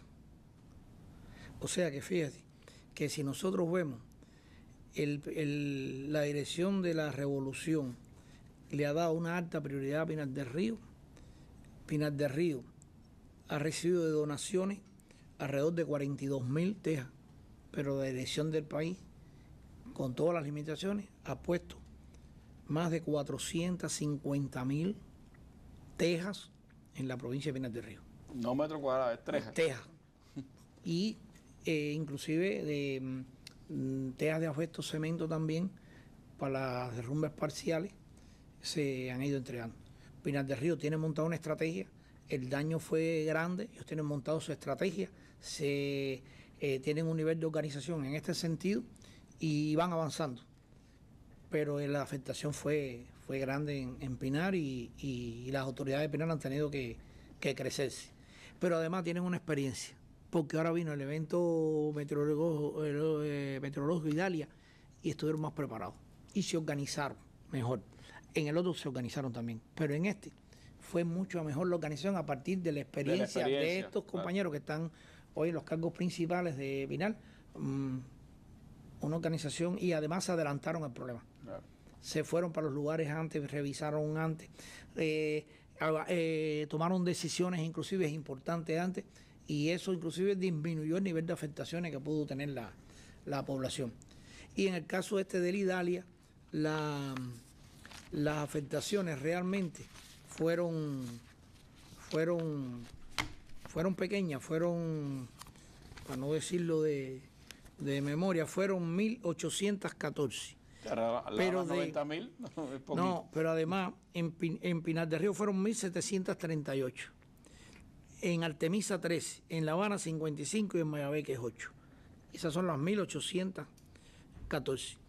Esa Idalia, ellos ya lo tienen montado en un programa, lo tienen revisado, estuvieron en las zonas de inundaciones, que inclusive nosotros los pudimos acompañar alguna vez allí también estuvo nuestro primer ministro ahí enseguida, el compañero presidente. también estuvo en el lugar, recorrió los lugares, intercambió con la población y la respuesta fue, fue yo digo que fuerte. Puede quedar algún caso, puede quedar algún detalle, pero eso tenemos que seguirlo ahí a nivel de municipio, a nivel de Consejo Popular y en el día a día para dar respuesta. Porque los recursos, eh, eh, se ha hecho un esfuerzo muy grande para asegurar, porque además lo fundamental del, del Idalia es están los techos totales y los techos parciales, que fueron 1.697 techos parciales. ¿Qué quiere decir? Que si nos concentramos también en la solución de cubierta de Elián y de Idalia, nosotros, la provincia puede avanzar muy rápidamente a más de un 70% de, Con esas de la 400 mil tejas que, que están del lado allá, pues... Sí, ya de esas hay colocadas, pues estoy hablando del esa es principio, hay muchas claro. colocadas, porque ellos tienen resuelto casi 40 mil casos ya. Eh, pero bueno, estas tejas, ellos ya en la- las últimas que entraron en la organización, le da más o menos para el 70% de la solución. Eso es Están parte trabajando en eso. también de los desafíos que, que tenemos. Es decir, uno puede planificarse, pero la naturaleza siempre le pone obstáculos en ese, en ese camino. Pero también está las búsquedas de soluciones. Y una de ellas es esta en Guantánamo, donde se ha buscado soluciones eficientes también para ayudar al tema del desarrollo de la industria de la construcción. Este es uno de los 31 hornos eficientes con los que cuenta la empresa provincial de materiales locales para la construcción en Guantánamo. Con su puesta en marcha, se logra a partir de un procedimiento tradicional ladrillos de arcilla que sustituyen a los de hormigón con el objetivo de contribuir a la recuperación socioeconómica del territorio. Un tejar que se dedica a la producción de ladrillos en varios formatos, ladrillos de pared, elementos de pared como este, y el ladrillo de la bóveda también eh, lo explotan aquí en, en esta mini industria. Es una mini industria que está gestionada por una mujer, es una mini industria que eh, se desarrolló, está trabajando con un horno eficiente, un horno circular de aproximadamente unas 500 quemas eh, antes de pedir la primera reparación. El horno quema 5.000 ladrillos de pared, pero si fuera ladrillo de cubierta eh, fueran más porque son más chiquitos. lleva una temperatura suave para un secado, lo que si lo apura un poco los ladrillos entonces estallan y entonces quedan galleteados como suele decir uno. Y después entonces ya lleva una candela más fuerte de unos 800, 900 grados de temperatura, donde nosotros lo medimos. Por el color. La empresa provincial de materiales de la construcción de Guantánamo logra la asociación con pequeños conglomerados de productores independientes de ladrillos de los municipios Guantánamo y Caimanera. Esas alianzas aportan mejoras en las condiciones de trabajo de los productores y un mayor acceso a materias primas y equipamiento. Usamos lo que es el casco, los guantes, el delantal y principalmente estamos satisfechos al final del resultado de trabajo porque ofrecemos con un ladrillo con calidad, dureza, color, que es lo que más necesitamos. Para lograr lo alcanzado es fundamental la aplicación de la ciencia y la técnica y el encadenamiento productivo con otras industrias para llegar a otros elementos como el ladrillo de suelo cemento. se nos dio la tarea de desarrollar a partir de eh, unos moldes existentes, realizar un diseño de tecnología inversa que nos permitiera a nosotros eh, utilizar las capacidades que tenemos nosotros instaladas en, en la, en la empresa y también en, otro, en otras entidades del, del- del territorio. Con la contribución de la Agencia Suiza para el Desarrollo y la Cooperación, COSUDE, se impulsa la consolidación de más de 20 mini industrias. Los equipos que ustedes ven aquí son equipos modernos que nos han ido muy bien porque humaniza muchísimo el trabajo y, y por eso el rendimiento es mejor ahora. Estoy contento con la, con las máquinas, ya que nos ayuda a alcanzar 200 losas diarias y ahora lo que hay es cuidarla y echar para adelante. El objetivo principal de las producciones es la recuperación del déficit habitacional, así como la mejora de viviendas dañadas para crear resiliencia. Válido destacar además la capacidad para generar nuevos empleos donde encuentran oportunidades jóvenes y mujeres. Uris Salvatmariño, Canal Cubano de Noticias. Solución local también que ayuda, porque el oriente del país también fue muy afectado, ministro, con lluvias recientes, ¿no? Sí, el, el oriente del país, debido a las intensas lluvias, eh, aunque la mayor afectación estuvo en Granma, Granma. pero bueno, se afectó Santiago, Holguín, Las Tunas y, y Camagüey. En este caso, eh, el- la afectación eh, fue un total de 961 viviendas, 160 derrumbes totales y fundamentalmente fue también el tema de los techos y techo total y techo y techo parcial. Ahí, bueno, eh, las provincias se volcaron enseguida a la solución. Eh, revisamos, revisamos los lugares, eh, pudimos inclusive intervenir directamente en muchos lugares con los temas de, la vivienda y, en los lugares inundados hubo lugares que se afectó mucho los pisos de la vivienda. Hubo un nivel de afectación de pisos de la vivienda que también se le buscó solución. Las autoridades en cada uno de estos territorios hicieron su programa, su organización. La parte fundamental fue Granma, que hicieron una muy buena estrategia y con esa estrategia prácticamente ya casi tienen la solución de, los problemas, le quedaban eh, muy poquitos casos por resolver, igual que el Camagüey en la zona de Santa Cruz del Sur, que también intervino inicialmente, eh, eh, hubo su su choque, como digo yo, a partir de la ayuda, pero ya enseguida cogieron el impulso y con las autoridades de la provincia y, el municipio también eh, reaccionaron y van por muy buen camino. En un corto tiempo van a tener toda esta situación controlada y, resuelta. Eso es una experiencia que no habíamos eh, tenido, porque normalmente eh, decíamos total de techo, total de, de parcial de techo, total derrumbe total, derrumbe parcial. Sin embargo, aquí hubo también un nivel de pisos importantes afectados a partir de esta inundación y la surgencia de, la, de las aguas. Ministro, ya que habla de pisos, hay una cifra que, a veces uno le, choca, ¿no? que es la cifra de casas con piso de tierra. En ese sentido, ¿en qué situación estamos y qué, se, está haciendo? A ver, Cuba, eh, los pisos de tierra en Cuba se eliminaron. Cuando yo explicaba de las viviendas, es que eh, inclusive en, la etapa que se desarrolló la batalla de ideas, cuando surgieron algunos pisos de tierra, también lo se eliminaron. Pudo haber quedado alguna vivienda en, en sobre todo en el campo, puede haber quedado alguna vivienda con, con pisos de tierra, pero las facilidades para resolver los pisos de tierra siempre se, se, o sea, están. Y la prioridad también en esa solución. Hay un nivel de piso de tierra de viviendas que han surgido nuevas, que que no son viviendas que técnicamente tienen la calidad ni están asesorados por, por ingenieros no tienen el técnicos. No, no tienen el habitable ni lo van a tener si no entra también por el tema de las regulaciones urbanas. O sea, tienen que cumplir un grupo de requisitos que no están cumpliendo. Pero inclusive eh, se revisan esas viviendas y a pesar de eso, como la familia a veces tiene que vivir un tiempo en ese lugar, se le están creando condiciones y se están mm, resolviendo un nivel de piso de tierra que puedan haber, haber surgido en, esos lugares. Eso es un tema que habíamos, se había erradicado totalmente, pero bueno, han surgido algunos casos inclusive que no han tenido los permisos de construcción. algunos lugares son viviendas que se han hecho de, eh, una manera improvisada. Improvisada, exactamente, esa, es la palabra, improvisada. Y que, entonces suman, pero son, son unos cuantos que hay que, que es un desafío todavía. Es un desafío que tenemos que seguir y además tenemos que seguir en el control.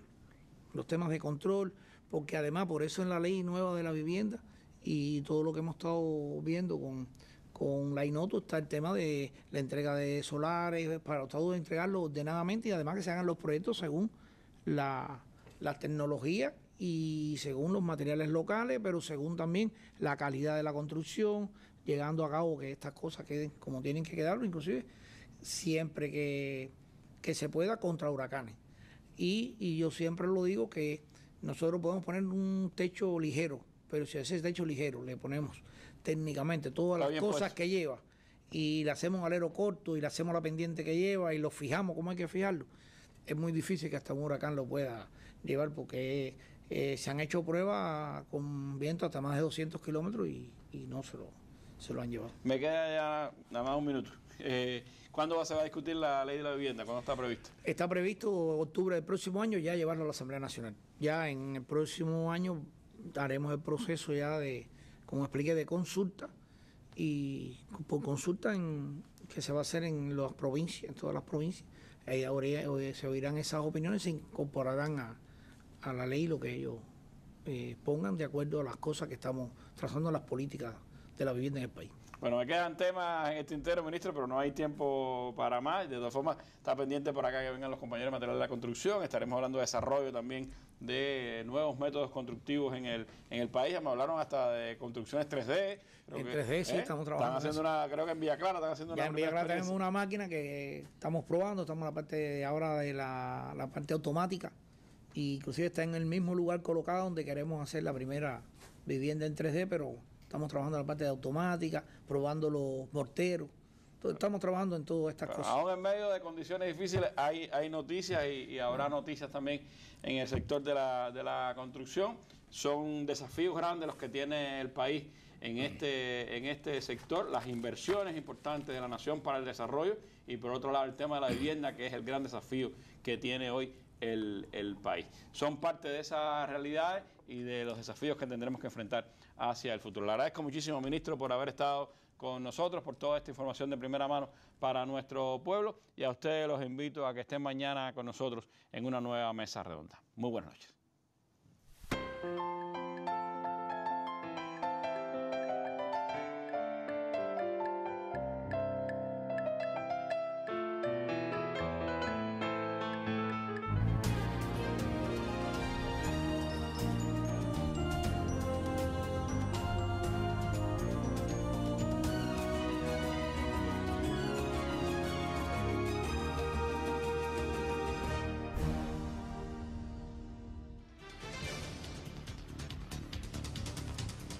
Bienvenida. El presidente cubano pidió en la Asamblea General de la ONU en nombre de los pueblos del sur un nuevo y más justo contrato global. Díaz Canel reafirmó que el orden internacional imperante es excluyente, irracional e insostenible. Cuba y Estados Unidos estrechan colaboración para estudios de tratamiento contra el cáncer y la formación de especialistas. Instituciones de salud de ambos países firmaron un memorándum de entendimiento.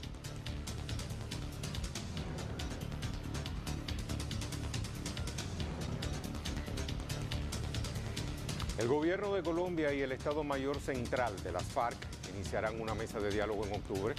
Se prevé un cese el fuego bilateral por 10 meses. Muy buenas noches, ¿cómo está Giselle? Muy bien, muy buenas noches. Rey Gómez y Giselle Filitelles les damos la bienvenida. Acompáñenos para que conozca lo más actualizado de nuestra agenda nacional e internacional. Usted lo sabe, ya son las 8.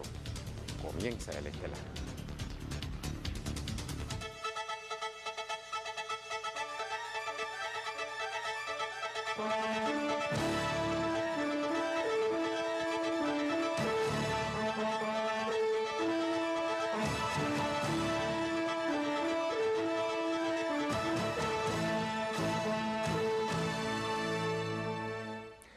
Martes comenzó el periodo 78 de sesiones de la Asamblea General de la Organización de las Naciones Unidas en la ciudad de Nueva York.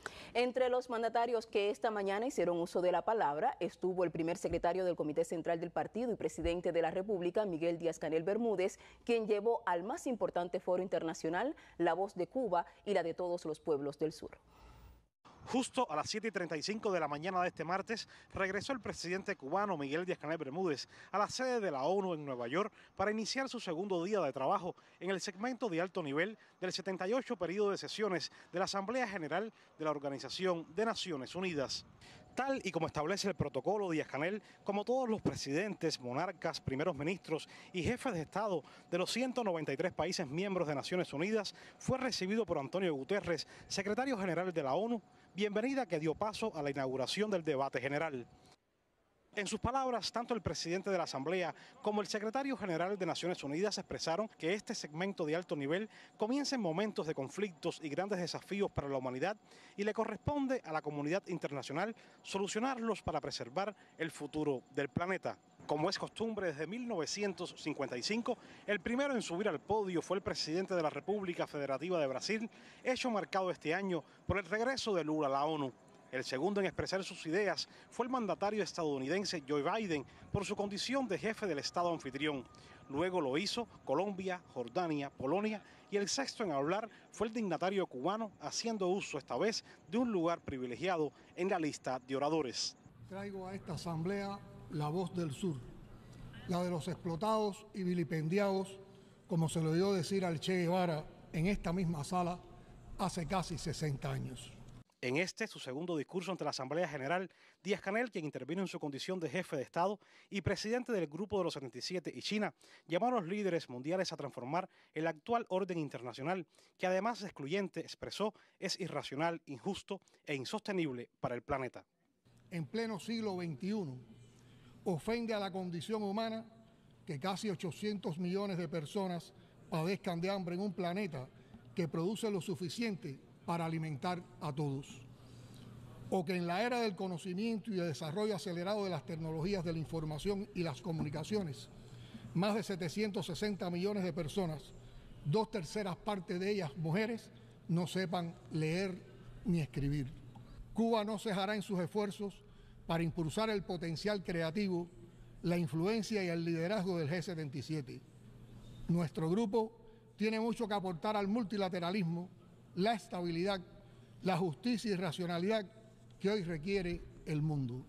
Díaz Canel expuso también los resultados de la reciente cumbre del G77 y China, celebrada exitosamente en La Habana y en representación de los 134 países que integran la agrupación y del 80% de la población mundial, llamó a la lucha contra el cambio climático y a la cooperación norte-sur porque los esfuerzos de los países en vías de desarrollo, dijo, no bastan para implementar la Agenda 2030 ni cumplir con los objetivos de desarrollo sostenible.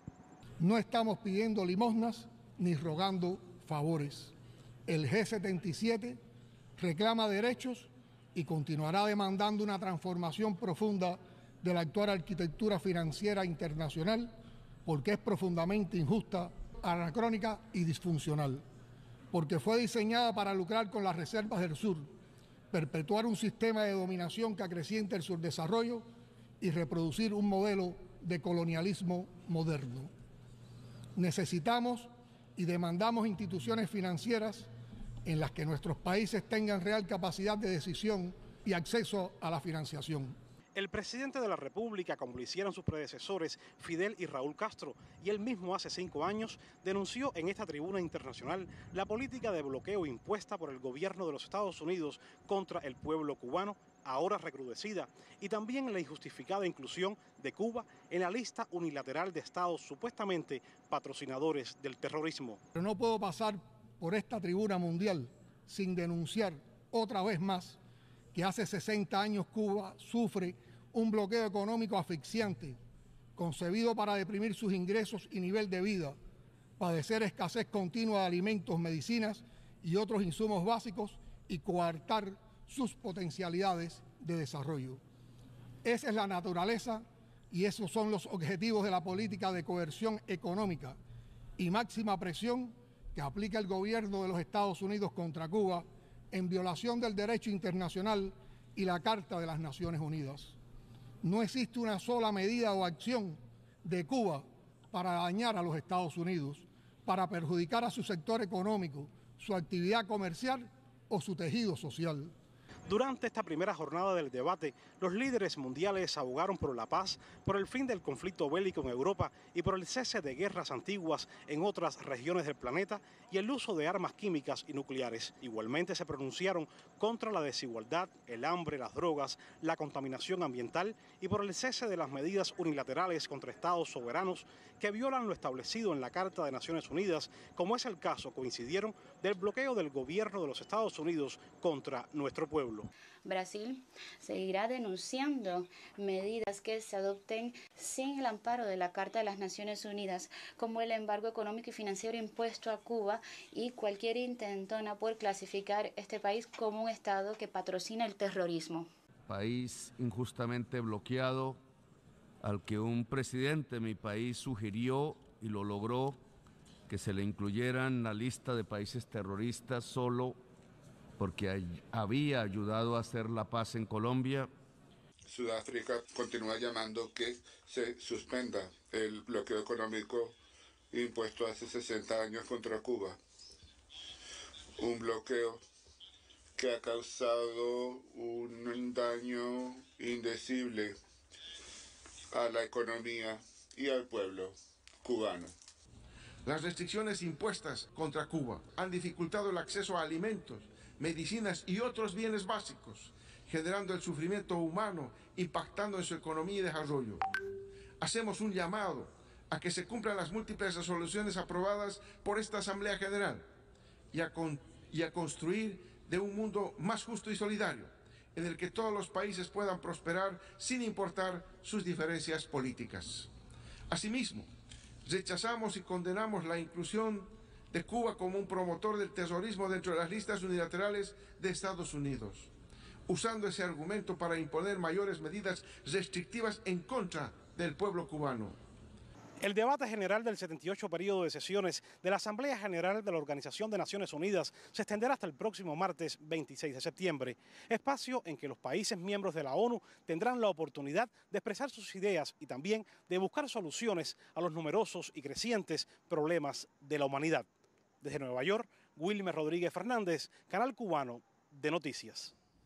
En los minutos finales de esta emisión retransmitiremos el discurso del primer secretario del Comité Central del Partido y presidente de la República, Miguel Díaz Canel Bermúdez, en la sede de la Organización de las Naciones Unidas durante el periodo 78 de sesiones de la Asamblea General de la ONU. Las múltiples crisis que enfrenta el mundo actual fueron abordadas hoy en la Asamblea General de la ONU en la voz de varios mandatarios. Aunque las visiones sobre el tema pueden ser variadas, todos coinciden en que la unidad en el enfrentamiento a los males comunes es la salida. El éxodo ha crecido en este año mostrando cómo avanza la crisis de la vida. Pero mientras el reloj ha avanzado en los minutos que definen la vida o la muerte en nuestro planeta, en lugar de sentarnos a detener el tiempo y dialogar sobre cómo defender la vida, para después, gracias a profundizar en saberes, expandirla en el universo, decidimos perder el tiempo matándonos entre nosotros.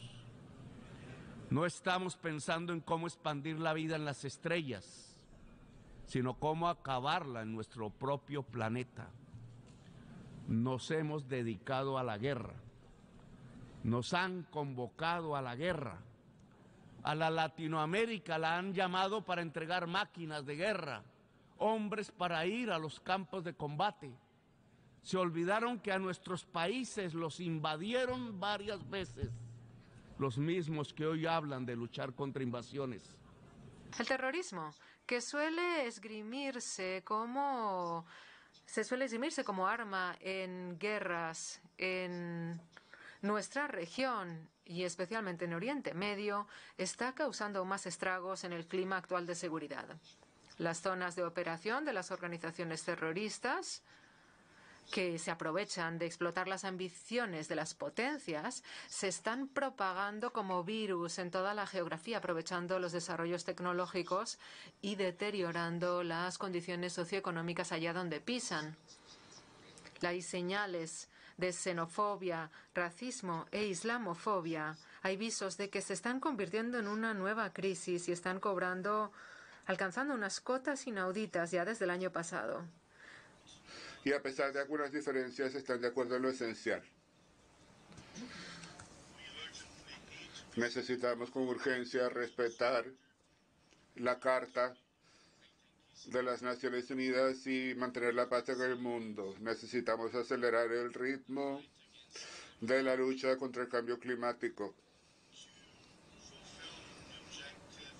para alcanzar los objetivos de la Agenda 2030 proteger los océanos y la biodiversidad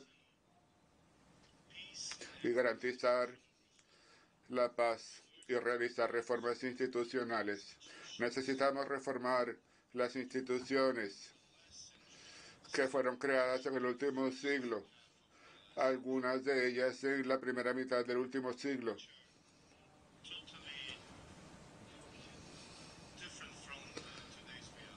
Que están completamente divorciadas de la realidad de hoy.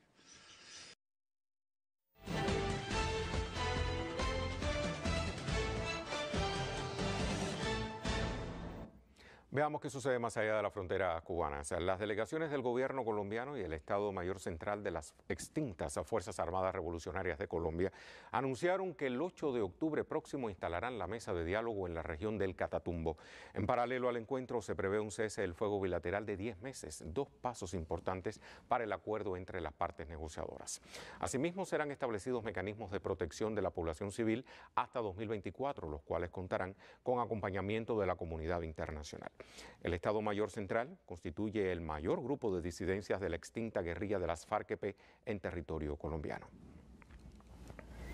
Y en el actual contexto de sesiones de la Asamblea General de las Naciones Unidas, El Salvador estableció relaciones diplomáticas con Guinea Ecuatorial, Ghana, Ruanda, Sierra Leona, Burundi y Angola como parte de su política de apertura con países del África.